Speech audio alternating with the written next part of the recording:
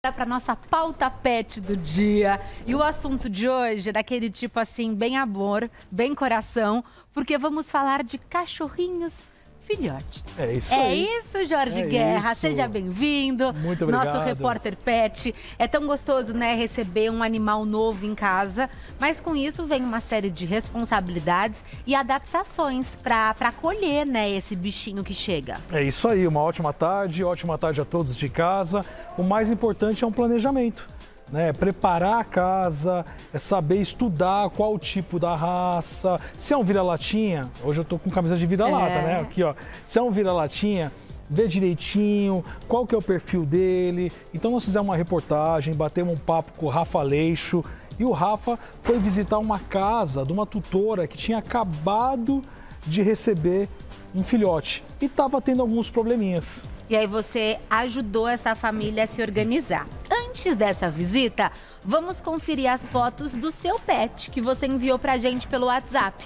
Então temos a Olá. Antonina e a Maia na tela, que são da Valkyria Paolette. Que Muito lindos. bonitas. O Jinxie, que Olha é a. Daiane, eles também precisam se adaptar, né? Não são Muito, só os muito, cachorros. Muito. Cleusa, Chanel, Chanel. a Chanel que linda. Muito legal. Irene com a Lili. Olha, gente, as duas iguais. Que charme.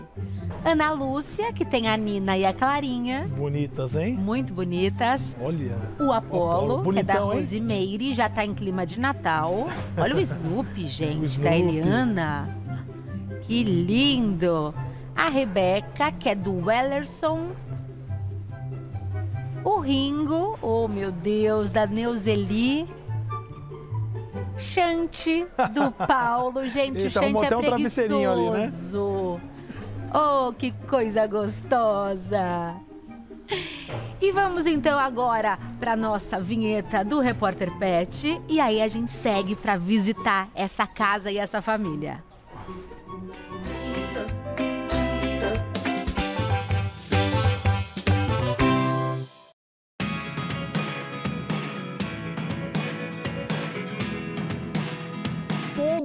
Mundo que adota um bichinho, quando chega em casa a primeira vez, tem aquela dificuldade. Alimentação, o espaço ideal, aonde fazer xixi, aonde fazer cocô. E a dona Rita tá passando por algumas dificuldades nessa, né, dona Rita? Muito. A Lili morde, faz xixi fora do lugar, faz cocô fora do lugar. É bagunceira. Bagunceira.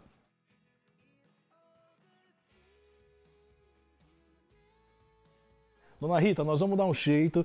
Eu vou chamar um amigo meu aqui, que é o Rafa Leixo, Ai, favor. que é especialista em Por comportamento canino, e ele vai ter um papo muito sério com a Lili. Ó, Lili, Tá certo, Lili? Rafa, tô contando com você.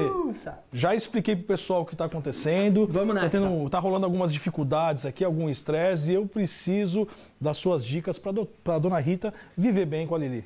Fechado. Muito provavelmente xixi e cocô no lugar errado. cocô na sala. Comendo desesperadamente, Brincadeiras de mordida. tudo isso. Muito. Acabando com o sofá. Ai, meu Deus, as coisas de filhote, né? Vamos ver o que, que, Vamos o que a gente pode resolver fazer? tudo por aí. Primeira dica do xixi e cocô no lugar errado é a seguinte: é um espaço muito grande para um tapete só.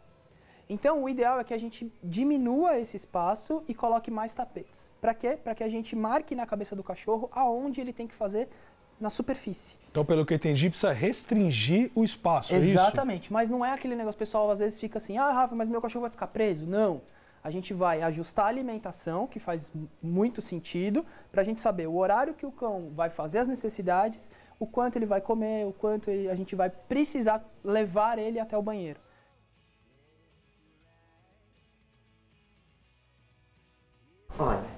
Aqui é a lavanderia. Ótimo, excelente.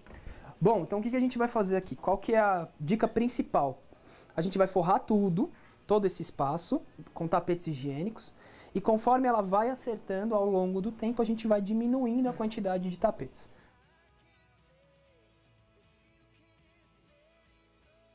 O cachorro vai começar fazendo um, em um só lugar, Isso. que ele vai começar a escolher o lugar. Então, ele está fazendo do lado de lá, o que, que a gente faz? A gente tira essa.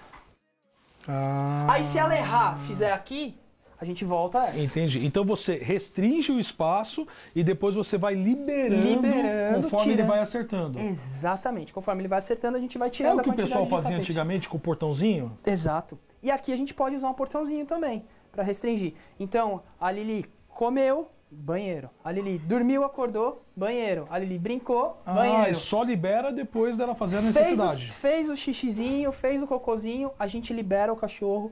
E aí entra dois pontos de reforços. Um, contato social. E o segundo, a gente pode reforçar com um petisquinho, um pedacinho de ração.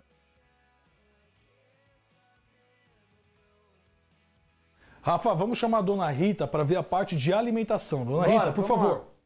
Nós Aonde que a Lili come? Aqui ela toma água e aí ela come. Bom, o local é bom porque ele é distante do banheiro. Tá, então Ou tá seja, correto. Tá, tá ótimo. Mas vamos dar uma melhorada nisso aí? Vamos lá, como é que a gente pode melhorar? Mas a gente vai pegar um medidorzinho. Aqui, ó, vamos supor, ah, aqui deu 197. Na verdade, é 100 gramas, né? Porque 197 são duas vezes ao dia, duas ou três vezes Tá. ao dia, depende da indicação Variar. do veterinário, exatamente. Aí colocamos lá e liberamos para a Lili. A Legal. Lili vem lá, comeu.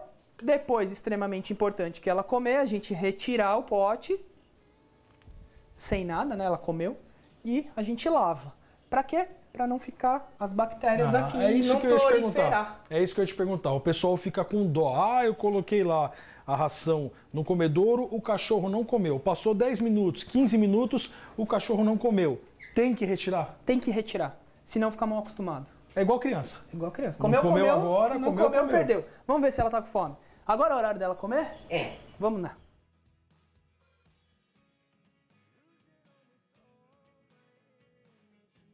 Uma outra coisa que a gente pode fazer aqui, ó, é pegar algo pra gente suspender o pote. Pra ficar na altura. Pode ser esse banquinho? Opa! Então vamos lá. Ó, então você põe aqui, ó. A gente pegou um banquinho aqui, tem uma caixinha aqui também, pode ser uma caixinha, depende da altura do cão. Como ela já é mais alta, o banquinho vai melhor. Então a gente suspende o pote, ó, pra ficar na altura, Ah, isso evita uma torção uma gástrica. torção gástrica, engolir ar e assim sucessivamente. Então a gente vai e mantém ela, né, ó, com as patinhas Postura correta. postura correta para alimentação. Isso é muito importante. Mandou ver, hein, mulher? Eu trouxe alguns brinquedos para mostrar o quanto que a gente precisa oferecer para o cão para suprir diversas necessidades. A dona Rita falou que ela tá dando uma roidinha nos rodapés, né? Tá, isso. Então. Tá acabando com o rodapé da casa. O ideal é que a gente tenha algo para ela roer. Olha esse aqui, Lili. E, ó, nunca, né, ali em cima. ó. Vamos ver se ela vai gostar desse aqui. Esse aqui é específico para ela ficar roendo, para suprir essa necessidade. Porque precisa. Precisa. Uma das coisas que eu falo para as pessoas é, gente, tira esse negócio da cabeça do corrigir. Vamos ensinar. Qual é a diferença desse ursinho para um outro ursinho? Esse aqui ele não é revestido de espuma. Ele é revestido de corda por dentro. Então, por mais que ela fure, que ela rasgue, é uma corda que está dentro. Então traz a segurança pro animal. Exatamente. E parece que ela gostou desse aqui, né? Olha lá, olha lá. Isso, mulher. Ó, e sempre que a gente for dar o brinquedinho, ó, a gente toca no cachorro. Pra ele entender isso aqui Que é agradável. Que é agradável e isso aqui vai ajudar muito na hora das brincadeiras de mordida. Então, ó, Isso que você tá fazendo, Rafa, de pu- puxar aqui, eu vejo a galera fazendo isso. Isso não tem problema brincar. não tem problema. Isso daqui é o que a gente chama de estímulo de caça. O cachorro precisa ter isso. Todo brinquedo, se ele não tem barulho e movimento, ele não tem graça.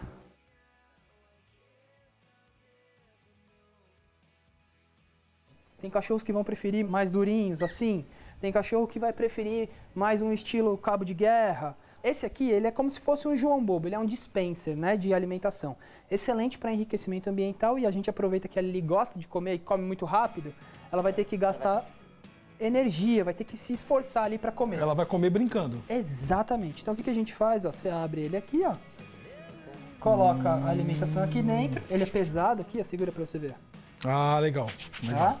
Bacana. Segura. Bacana. Depois a gente vai fazer um teste Colocou a ração aqui dentro, ela vai comer, brincar, vai estar estimulando. Exato. E aqui ela vai brincando. Ah, já gostou, né?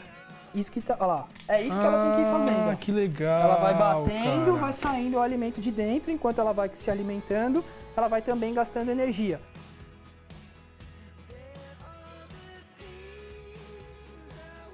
E aí uma coisa que é legal, né? O apartamento aqui é grande. Então, mesmo que seja grande, ela ainda tem, a gente precisa fazer com que ela passeie, com que ela interaja com outros cães, com que ela brinque, com que ela saia na rua. Então, a pessoa que mora num ambiente menor, pequeno, sabe ali que tem a necessidade do passeio. Senão, ó, Senão ela começa a latir. latir, porque ela tá querendo alguma coisa, Tá né? querendo alguma coisa, tá pedindo alguma coisa. Nós, adestradores, falamos, o latido é uma frustração. Quando o cachorro não consegue algo, ele abre a vocalização, então ele late. Legal. E aí, dona Rita, valeu a pena as dicas? Vou fazer tudo. Valeu. Vai fazer tudo? Eu vou voltar aqui, hein, dona Rita? Pode voltar. Eu vou voltar aqui, vou fazer vou ver o que, que aconteceu, vou ver se a Lili tá, entrou no eixo. Obrigada. Legal. Rafa, obrigado, cara. Sensacional. Dona Rita, muito obrigado por nos receber. Espero que ajude a, a senhora aí. E você aí de casa, pega todas essas dicas, anota direitinho, né? E você agora já sabe como receber um pet da melhor maneira possível.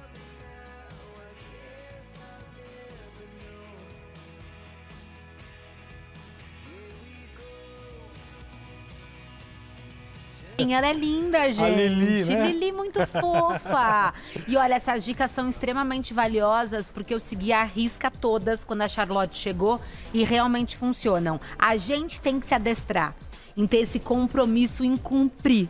Cumprindo, o cachorro se adapta. Você falou o ponto certo. Eu conversando com o Rafa, ele falou: o principal é o tutor, o responsável pelo pet ter essa noção.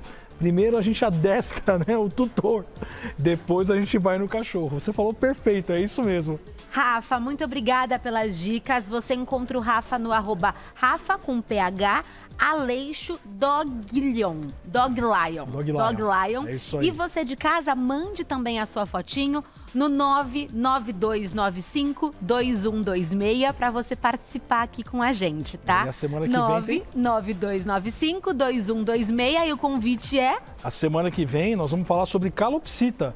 Então, pessoal de casa aí que tem calopsita, já vai mandando a fotinho pra gente que pode aparecer aqui. participe. Nós adoramos conhecer o seu pet. Vamos lá?